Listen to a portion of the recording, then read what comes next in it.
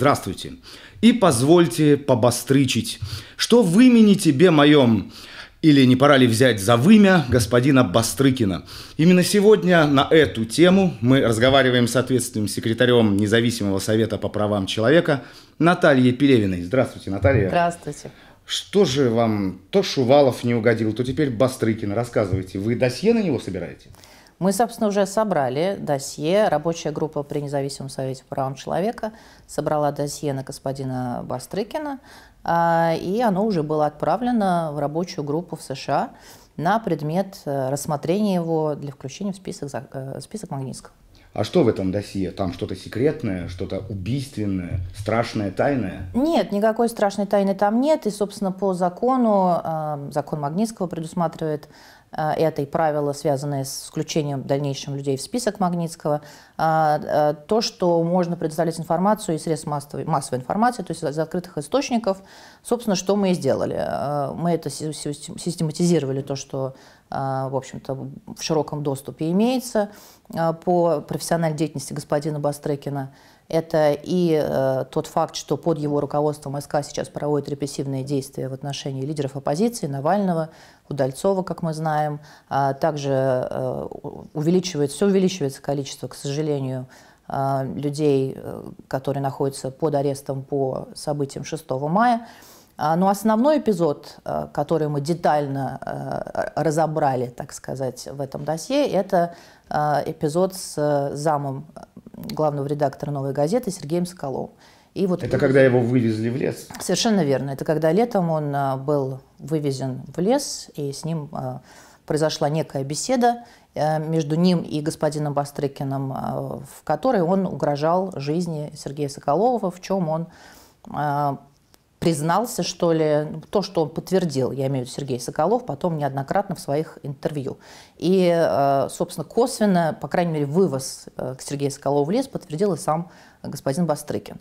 Собственно говоря, э, здесь очень хорошие основания у нас для серьезного рассмотрения той стороной его для включения в список, потому что Стоит заметить, что э, э, нам стало известно, что та сторона, буду так это называть, э, будет максимально узко, я так полагаю, по политическим причинам рассматривать точнее интерпретировать э, понимание нарушения прав человека. А в список люди будут включаться именно на этом основании.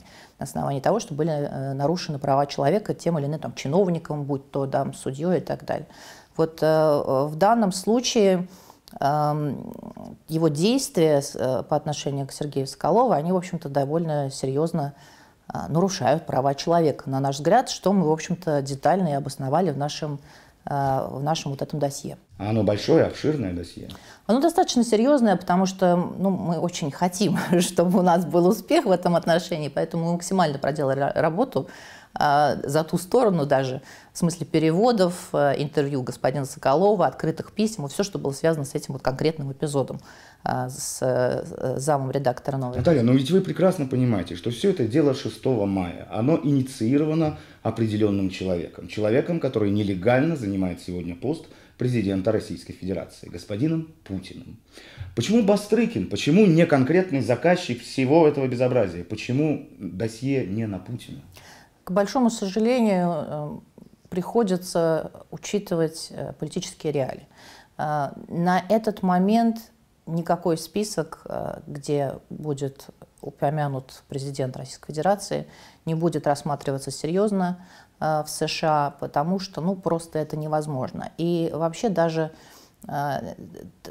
те серьезные, так сказать, противодействия, которые мы видим с той стороны указывает на то, что, конечно, США, как бы ни казалось как раз здесь тем, кто смотрит Первый канал, что как, там агрессивные действия, вот уже потенциально, вот они прямо уже совсем, совсем на пороге.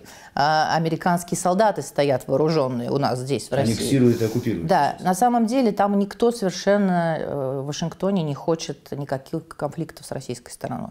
Э, им это тяжело, им сейчас это не нужно. Вот это то, что знаем мы, те, которые как бы ситуацию знают, может быть, ну, чуть-чуть лучше, да, чуть глубже ее понимают. И поэтому даже с этим списком у нас будет непростая история, безусловно. То есть мы максимально хотим использовать вот эту, на наш взгляд, очень хорошо сложившуюся для, для России, на самом деле, ситуацию с законом Магнитского, потому что, к сожалению, все эти чиновники, все эти Пехтины, все эти Бастрыкины – плевали на мнение своего народа. Им важно, чтобы по-прежнему они имели возможность путешествовать, иметь свои счета, иметь свою собственность за рубежом. Вот если мы потихонечку сумеем их как-то этого лишить, вот этой радости э, жизни, да, а, которую, я уверена, здесь они не видят и не чувствуют. Здесь они работают, они на вахте. А там они живут, да, их семьи там и так далее. А если мы этого будем потихонечку их лишать, то, возможно, и, так сказать, какие-то что-то новое в стране наконец-то начнет происходить, какие-то подвижки. А вот вам скажут, возразят ваши оппоненты, опять вы рассчитываете на поганый Госдеп, опять на этих врагов, что сами не можете разобраться. Зачем туда ездить, шакалить, как там Владимир Владимирович говорит. Вот Гудков недавно съездил, сразу же начались неприятности. Зачем? Может быть, самим каким-то образом?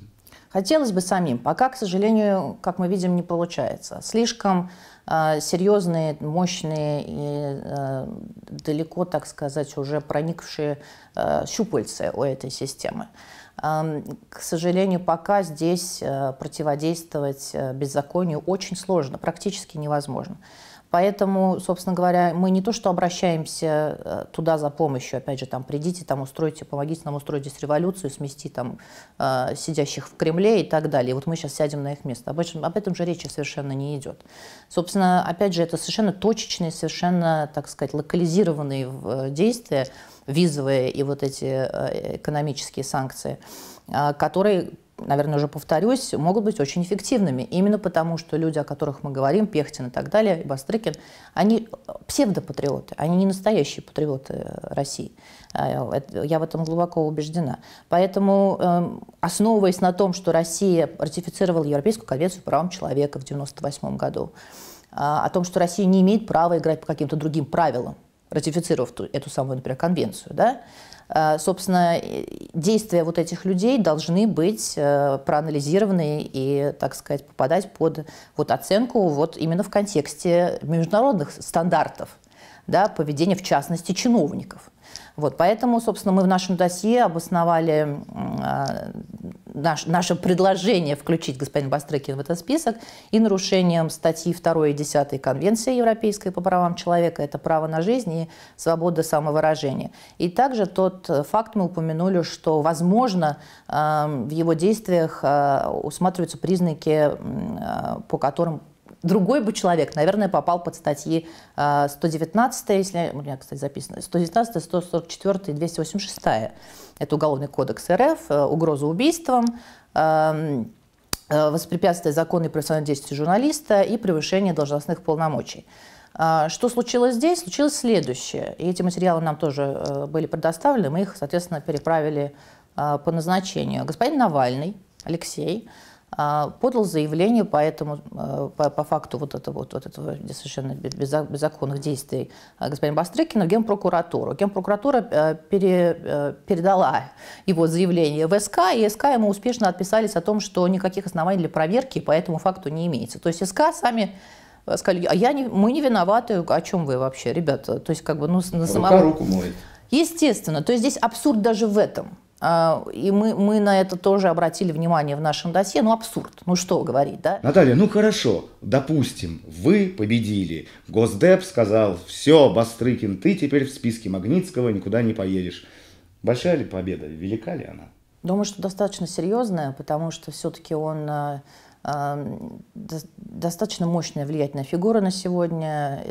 Известно, что он и близкий товарищ Путина еще там по по, по, по, по молодости и так далее. И э, человек, он, э, который, мне кажется, вот, вот это моя сейчас личная оценка, да, э, вот именно моя личная. Человек, который чувствует себя абсолютно безнаказанным вообще на, вот, на ближайшее будущее. Он чувствует, что никакого наказания он не понесет никогда. Он в этом абсолютно убежден. Очень хочется это начать переламывать. И поскольку вот, к сожалению, так сложилась ситуация, что действительно он прав в том, что он здесь наказания никакое, ни за какие свои действия а, будь то репрессивные э, действия в отношении там, оппозиции, будь то вот этот вывоз журналиста несчастного, который просто делал свою работу в лес, э, и угрозы э, в его адрес о том, что там голова у тебя будет валяться здесь, а ноги будут валяться в другом месте. А, он уверен, что он за это не понесет никакого наказания. Вот хочется это хоть как-то, хоть чуть-чуть изменить. И даже такой вот ценой а, которую мы уже, кто-то из нас уже, так сказать, это почувствовал на себе, кто, кому-то еще предстоит, что мы там агенты Госдепа, что, соответственно, включая господина Бастрыкина, а, предлагая его в список, мы э, там самые, самые страшные, конечно, и мы самые страшные предатели Родины, наверное, и так далее. На самом деле я лично, и я знаю, что мои коллеги, э, в общем-то, абсолютно из этого же исходят, мы это делаем как раз для того, чтобы наша страна имела возможность жить по-другому, чтобы в ней не было таких, как Бастрыкин, чтобы в ней нормально могли работать журналисты, чтобы не преследовали людей за, а, за то, что они выходят на митинги, а, в общем, ну и так далее. Что, что сейчас здесь все полностью озвучивать. Но мы исходим исключительно из этого. Пусть последний говорят, вопрос, самый последний вопрос. Мы с вами говорили в прошлом году о миллионах Шувалова. Вы так много интересного рассказали и показали. Дело сдвинулось? Шувалову что-нибудь за это было? А, я знаю, что там э, потенциально могли быть некоторые действия, какие-то другие приниматься решения в его, в его значит, ситуации на самом высшем уровне. Это какая-то такая кулуарная информация, конечно. Но вот между тем, конечно, ничего э, не произошло, его не, э, не сместили, его не уволили, к большому сожалению. Но это, опять же, симптом ситуации целиком, на мой взгляд. Мы, конечно, все равно не останавливаемся. Я сейчас собираюсь э, еще один материал э, в ближайшее время предоставить на суд общественности, э, связанный с ним. Но, собственно, конечно, надежда невелика, что в России что-то по вот таким вот коррупционным делам, которые касаются таких серьезных фигур на политической арене сегодня, как господин Шувалов, что что-то по ним может реально произойти. К сожалению, нет. Но опять же, о чем вообще говорить? Если господин Бастрыкин, да, у нас э, позволяет себе вот такие действия, да, Следственный комитет, соответственно, никогда не будет серьезно заниматься никем э, из серьезных политических э, фигур, там, членов правительства и так далее. Это же совершенно очевидно. Это одна э, совершенно, э, это может быть не одна группа людей, но мне кажется, мыслят они все одинаково.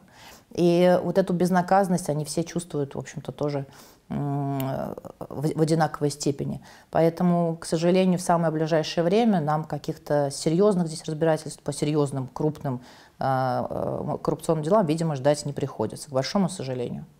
Спасибо вам большое, Наталья, Спасибо за ответы вам. на эти вопросы. Итак, как бы ни помогала нам за граница, а собственные проблемы придется решать все равно самим.